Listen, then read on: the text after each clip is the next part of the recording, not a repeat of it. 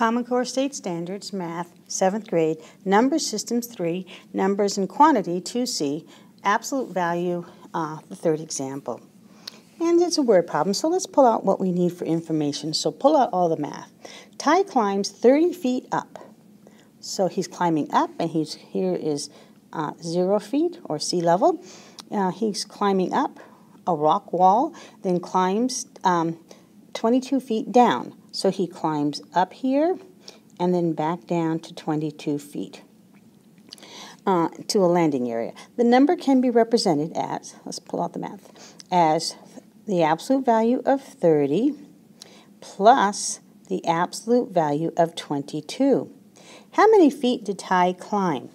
Well, he went up 30 and the absolute value of that would be, the distance would be between 0 and 20, uh, 30, would be 30, plus the absolute value of uh, negative 22 would be uh, 22.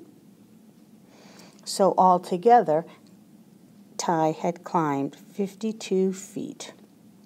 He went up 30 and back down 22, but altogether he made uh, 52 feet. Thank you.